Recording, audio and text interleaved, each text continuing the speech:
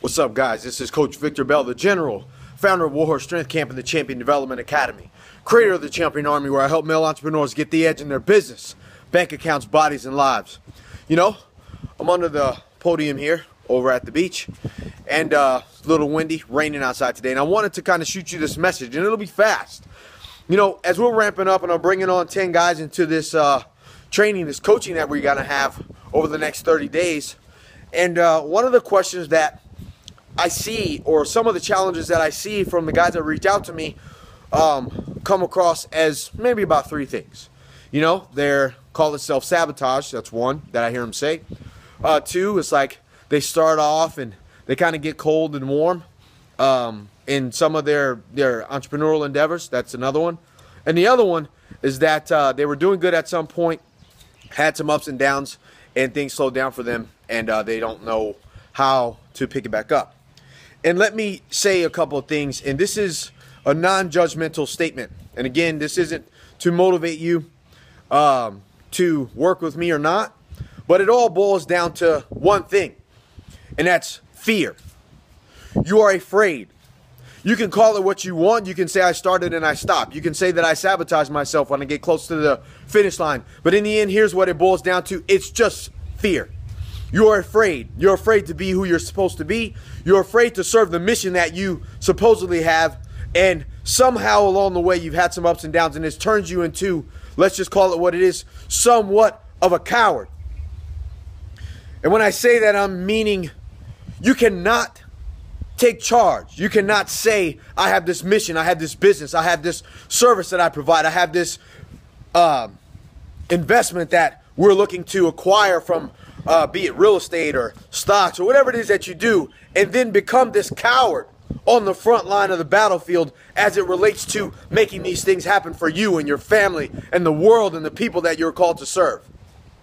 Men, it makes absolutely no sense for you to take command of your life and then stop short. To bring everybody to the front line with you, say, Come on, guys, follow me. But oh shit, I'm a coward and I'm gonna cower back and expect you guys to go on without me, or expect you guys to live without me, or expect the provision that I'm supposed to be providing for you as a man to find its way into my life and your life, but I'm not gonna do shit for it because I'm scared to fail. Or worse, I'm scared to succeed. So when you take a look at some of the things you do or some of the things you should be doing and you find yourself scared to do it, you can do one out of two things. You can get help, get a mentor, a coach. That's how it's done. Or you can bite down on your lip and just grit and bear it and stop being a coward and move forward. Because let me tell you, guys, until you decide that you will no longer be afraid to win, and by not being afraid to win, that also means you're no longer afraid to lose. Can you actually begin? It makes no sense to reach out to a coach or a mentor to just get your questions answered and not move forward because now you are just validating the fact that you're scared, the fact that you're afraid, even though you've reached out for help. And it's almost bringing on a coach and a mentor takes a little bit of the pressure off of you because now you don't have to always think you can get direction and then execute that direction effectively. Where in your life are you being a coward? Where are you life where in your life are you just being afraid to move forward with the things that you know you should be doing yet you're not? And here's something to consider. Maybe you just don't have the strategies to overcome the challenges that seem so insurmountable insurmountable because you don't want to. Because winning means that you have to keep winning. The success that you have in front of you means that you have all the tools necessary to make this happen, yet you choose to not, and then everybody would know that in essence, the first time was just a fluke, and because it's exposed you for what you really are, you can now fit in and be comfortable at just being the coward because that serves you more. Or do you find that you can better serve your family being who you're supposed to be, serving your mission that God put you on this earth to serve, and finally step up and play the game necessary that's needed for you as a man?